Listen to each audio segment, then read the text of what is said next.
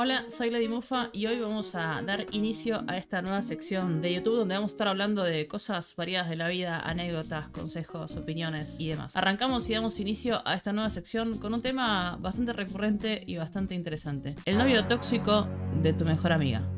Sí, tu amiga, esa que es divina, hermosa, preciosa, que la adoras con todo el alma y que te parece una de las personas más graciosas e inteligentes que conociste en tu vida. Conoce a alguien, se enamora y lo mejor de todo, esa persona también se enamora de ella y se ponen a salir y tu amiga está súper feliz de la vida, te dice que el tipo es espectacular, que nunca conoció a alguien así, que está súper pendiente de ella, que la quiere un montón. Y vos decís, buenísimo, me alegro un montón porque yo quiero que mi amiga sea feliz y si bueno, dentro de esas cuestiones de la felicidad está ponerse en pareja con alguien, la verdad que es fantástico que la traten bien y, que la quieran como se lo merece, ¿no? Porque uno busca justamente que la gente que uno quiere sea feliz. Vaya, no encuentro fallas en su lógica. Pasan los días, vas hablando un poco menos frecuentemente con tu amiga, decís, bueno, esto es normal porque claramente uno cuando comienza una relación a veces, bueno, dedica mucho tiempo a esa nueva relación y se aleja un poco de, de sus círculos normales o habituales de charla y demás. No te preocupas, charlas un poquito ves que tu amiga está súper contenta, te cuenta cosas maravillosas de su relación y decís, genial. Excelente. Todo está saliendo muy bien. Esto va súper bien, ojalá que siga así.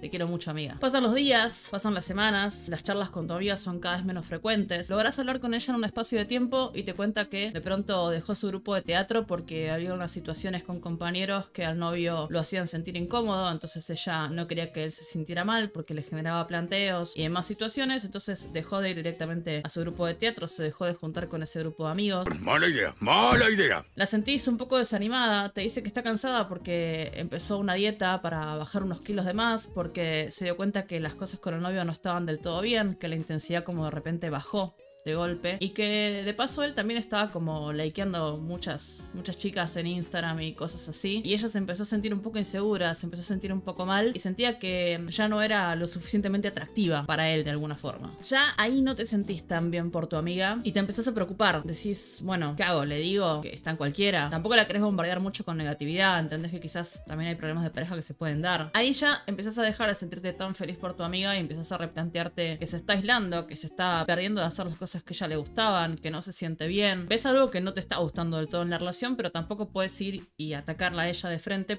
No. Porque se va a sentir todavía más insegura y se va a aislar todavía más. Entonces decís, bueno, ¿qué hago? Tampoco la quiero dejar sola. Empezás a tomar un rol más pasivo, de acompañar, de tratar de que ella no se sienta tan aislada en algún punto y de ir un poco monitoreando la situación. Seguís hablando esporádicamente con ella. Las conversaciones son cada vez más cortadas, cada vez más tajantes y cada vez más disparadas también. Algo anda mal. Y de pronto en un momento dado ya no te contesta más. No te contesta más, pasan los días, pasan algunas semanas, no publica nada en sus redes sociales, no sube historias, no hace nada. Y cuando por fin volvés a dar con ella, te encontrarás que está totalmente en la mierda. Y que te dice que, la relación se complicó todavía más, que ella no sabe qué es lo que tiene que hacer, eh, que se está esforzando mucho, y que cuando le plantea las cosas a él, él le dice que está todo en su cabeza, que se está imaginando todo, que él está como siempre, que está todo fantástico, que son todas imaginaciones de ella y de cosas que la gente le pone en la cabeza, sus amigos. Entonces, que deje de, de frecuentar esas amistades que, que le ponen ideas tan raras en su cabeza. Esto se va a poner feo. Te agarra un poco de sorpresa la situación y no sabes bien qué decirle, tratás de decirle que en realidad vos crees que él tiene que ser un poco más comprensivo, un poco más empático, que ella no se tiene que perder en el camino, que no se tiene que aislar del resto de las amistades, varias cosas más y bueno, en definitiva queda ahí la conversación, no pasa mayores. Días más tarde volvés a hablar con ella y la notás refulgente, renovada, feliz de la vida y demás. Y te dice que todo está perfecto, que todo volvió a ser como era, que él la llevó a comer un lugar lindo, le regaló un vestido que le gustaba eh, y todo fantástico, todo hermoso. Y ahí le decís, che, pero ¿qué pasó con todo lo que venía sucediendo? Es un dato muy importante, yo la verdad es que necesitaba saberlo. Y ella te dice que no importa, que todos tenemos nuestros malos días, que hay que ser más comprensivo. Y vos te pones en una posición de decir, che, pero no puedes dejar pasar todo eso, que alguien te trate de esa forma y esté todo ok al otro día como si nada. Y ella ahí te dice que vos no deberías meterte en la relación y que deberías quedarte un poco al margen y no hablar mal de él porque no sabes por lo que él está atravesando. Con lo cual intentás no ponerte a la defensiva y decirle que, bueno, está todo bien, pero que trate de cuidarse y no más que eso. Y ella lo toma como que le querés pinchar el globo y se pone bastante difícil y bastante turbia la cosa. Camino de la vida no son lo que yo esperaba. Pasar los días, seguís hablando con tu amiga, te vuelve a hablar y esta vez otra vez está en la mierda e incluso peor que antes porque no sabe qué es lo que hizo mal para que sucediera toda esa situación. Acá te das cuenta que el acompañamiento pasivo evidentemente no está siendo lo suficientemente fuerte, lo suficientemente bueno y decidís dejar que pasen un par de días, seguir en esa e inventarla, invitarla a tomar una cerveza, a caminar, a hacer algo de lo que hacían antes. Logras convencerla para que sí y ahí te dispones a armarte con toda la paciencia que tengas en todo tu cuerpo y toda la paciencia que te puedan dar el resto de las personas que te conocen tipo Genkidama Yo me encargo de esto. y empezás a charlar con ella sobre cómo está, a intentar escucharla. Y prepárate para escuchar cosas mucho peores de las que venías escuchando hasta ahora. Para que ella, si logra sentirse en confianza y tranquila, te empiece a contar un montón de situaciones que son gravísimas y quizás ella las naturalizó. Y ahí es muy importante que no le empieces a decir, ¿por qué dejaste que pasara esto? ¿Por qué te trató así? ¿Por qué hicieron esto? No reacciones vos con agresividad con ella. Eso es mucho, muy importante. Porque en ese momento ella no tiene capacidad para separarse de todo eso. Y está ya en un mar de cosas a las que la llevó una persona que la manipuló para justamente colocarla en ese espacio donde ella ya no se puede defender. Un rato después de la charla te animás a decirle que, que lo deje, que basta, que ya está, que el amor no es eso, no es estar sufriendo y desarmándose por el otro. Y ella te escucha y no sabe bien cómo hacerlo, entonces directamente le decís, bueno, te acompaño, retira las cosas de la casa, bloquealo de todos lados y adiós.